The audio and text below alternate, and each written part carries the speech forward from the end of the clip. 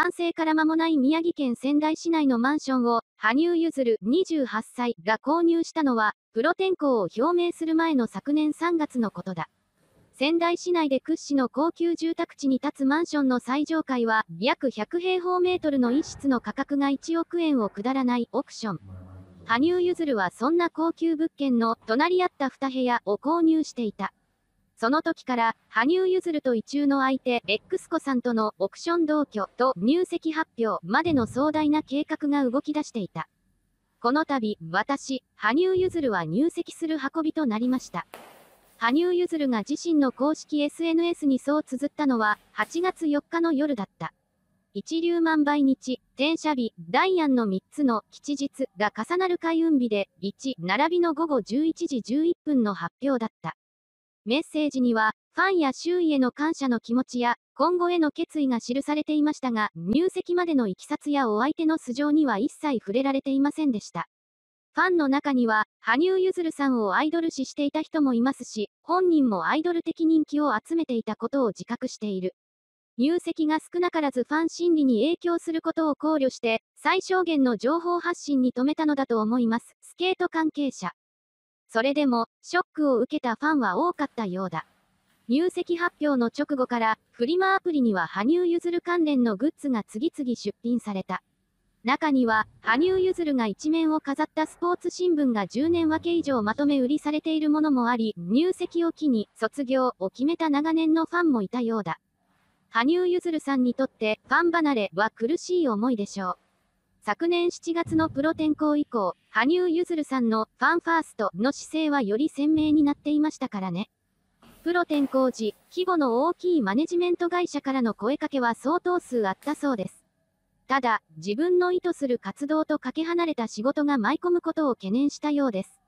羽生結弦さんは怪我も多く、持病の喘息もあるから、自分のペースで活動していく環境が必要と判断したのでしょう。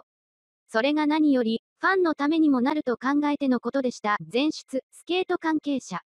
羽生結弦のファンファーストの気持ちは、別の面からも浮かび上がる。アマチュア時代、羽生結弦さんへのインタビュー取材は、テレビや新聞、それに一部の雑誌に限定されていました。実はプロ転向時、羽生結弦さん自身はネットメディアや週刊誌などにも取材の門戸を広げたいという希望を明かしていたそうです。羽生結弦さんの中には、もっとたくさんの人にスケートを知ってもらい、興味を持ってもらいたいという思いがあるんです。そのためには幅広いメディアで自身の考えを取り上げてもらう方がいいと考えていたのでしょう。ただ、周囲は羽生結弦さんの気持ちに猛烈に反対した。結局羽生結弦さんが折れましたが、ファンを思っての行動が実現できなかったことに、複雑な心境だったことは想像に難くありません。前出、スケート関係者。入籍発表後に家族で向かった場所。ファンへの気持ちと同様に貫いたのが、地元、仙台への愛だった。羽生結弦は姉がスケート教室に通い始めたことに影響を受け、4歳の時にスケートを始めた。以来、海外に拠点を移した時期を除いて、常に生活の中心は仙台にあった。2011年の東日本大震災の時、羽生結弦さんは地元のスケート場で練習中でした。自宅も被災し避難所生活を余儀なくされ、一つのおにぎりを家族4人で分け合うほどだった。練習拠点を求めて全国を転々としながら、こんな状況でスケートを続けていいのか、と悩んだこともあったといいます。別のスケート関係者。だが、被災者にとって羽生結弦の存在は、むしろ希望だった。熱心にチャリティーや被災者支援に取り組み、今年の3月にはアイスショー、ノッテステラタを宮城県内で開催した。プロ転向後も、生活拠点は仙台です。これまでの競技会中心の生活と比べると、プロスケーターとしての活動は段違いに幅が広がります。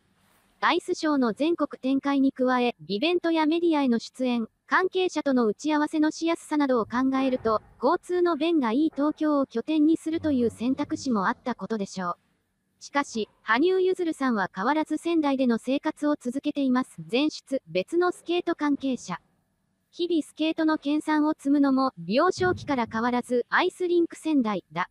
入籍発表から1週間以上が過ぎた8月中旬にも、深夜にアイスリンクへ向かう羽生結弦の姿があった。アイスリンク仙台は8月いっぱいまで一般営業を中止していますが、それでもアイスホッケーチームといった団体での利用は行われています。他の利用者と重ならないよう、深夜にスケートの練習をするという習慣は続いています。前出、別のスケート関係者。練習場へ向かう羽生結弦を乗せた車のハンドルを握るのは、決まって羽生結弦の父だ。助手席には姉、後部座席に羽生結弦と母が座る。冒頭に記したオクションの2部屋は、一つが両親と姉の、もう一つが羽生結弦と新妻の愛の巣だ。羽生結弦のスケート人生は母子の物語と言っていい。ジュニア時代、試合の衣装はすべて母の手作りだった。羽生結弦が出場するほぼすべての大会に帯同し、2012年に羽生結弦がブライアン・オーサーコーチに指示するためカナダ・トロントに移り住んだ際、一緒に異国に赴いたのは母だった。ある程度の年齢になると、試合は本人だけっていう選手が多いんですけど、羽生結弦さんの場合は、お母さんがマネジャーであり、コーチであり、トレーナーでもありました。もちろん自分の親ですから、精神的安定を保てる存在だった。ただ、お母さんはスケートに集中させるために、昔は携帯電話を持つことを禁止していました。目の届くところにいないとダメ、というお母さんの思いを、羽生結弦さん自身は煩わしく感じたこともあったそうです。フィギュア関係者。母の干渉は羽生結弦の恋愛にまで及んだ。高校時代は恋愛自体が禁止でした。早稲田大学入学後は交際相手の A 子さんもいて、海外遠征が多い羽生結弦さんの事情もあって成田空港の近くでデートをしたこともあったそうです。結婚を約束した相手もいて、お母さんに直談判したこともあったけど、当時は叶わなかった羽生結弦の知人。この度、羽生結弦とゴールインを果たしたお相手は、そういった強固な母子の結びつきの内側に迎え入れられたことになる。相手は周囲が安心できる存在。入籍発表以降、お相手をめぐる情報は錯綜した。かつて国民的グループに所属した元アイドルや、世界的に活躍するピアニストなどの名前がインターネット上で挙げられましたが、どれも噂の域を出ないものでした、芸能関係者。そもそも、羽生結弦の交際は関係者の中でも一部の人間にしか伝えられていなかった。発表後、チームゆずの関係者と連絡を取りましたが、相手が一般人だとか、著名人だとか、元スケーターだとか、そういったことも含めて、一切明かさないと事前に決めていた、と話していました。別のフィギュア関係者。あまりに堅牢な情報管理に、羽生結弦の友人の一人は、以前、交際していた元スケーターの村上佳菜子さん28歳だとも思ったと話したが、相手は村上でもなければ、過去に表舞台に立ったスケーターでもない。羽生結弦が心を許したごく一部の友人などには、事前に報告があったという。現在も世界レベルで活躍する男子スケーターの一人には、交際段階で知らされていたそうです。彼が言うには、お相手は仙台の一般人で、周囲が安心できる存在だそうです。彼も羽生結弦ファンのエネルギーは知っていますから、相手の素性が知れても、熱心なファンたちが、そんな相手なら納得、と頷けるような人なんでしょう。前出、別のフィギュア関係者。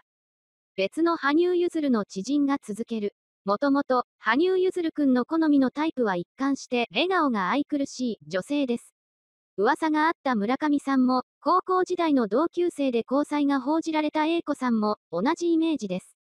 お相手の X 子さんも、どちらかといえばそんなタイプだと思いますよ。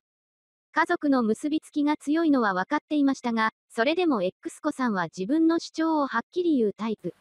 今回の入籍をめぐっては、もちろん羽生結弦さんの家族からも、周囲からも時期を考えないと、と意見が出たこともあったそうです。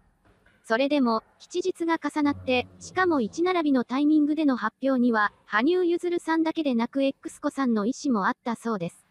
結婚に至るまでには、羽生結弦さんとお母さんの意見がぶつかったこともあったそうですが、それでも最後は周囲が2人の決意の強さを認めるしかないほどだった。今後もスケーターとして人生を歩んでいく羽生結弦にとって、伴侶の担わなければならない役割は大きい。ですが、しばらくは表舞台に一緒に立つことはないでしょう。入籍を発表したからといって、大手を振って一緒に行動したりはできません。結婚したと言っても変わらないこともあるんです。前出、スケート関係者。実際、前述したように結婚発表後もアイスリンクでの練習に X 子さんは同伴していなかったという。隣には、いつもと同じく母がいた。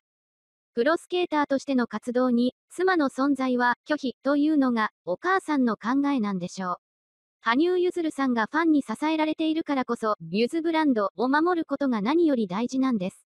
X 子さんの正体を隠すことが、ファンを守ることにつながり、結果として X 子さんを守ることにもつながると、お母さんは考えている、羽生結弦というあまりに大きな存在のため、家族が抱えている葛藤はとてつもないものだと思います。それを X 子さんも時間をかけて理解していくしかないし、その環境を受け入れなければならないということです。その上で、羽生結弦さんの心の部分の支えになるのが、お相手に求められている役割なのだと言っていいのだと思います。前出、スケート関係者。北京五輪後の会見で、挑戦とは、と問われた羽生結弦は、次のように答えている。守ることも挑戦なんだと思うんです。大変なんですよ、守るって。だって家族を守ることも大変だと思いますし、何かしらの犠牲や時間が必要だったりもしますし。羽生結弦にとって守るための挑戦が続いていく。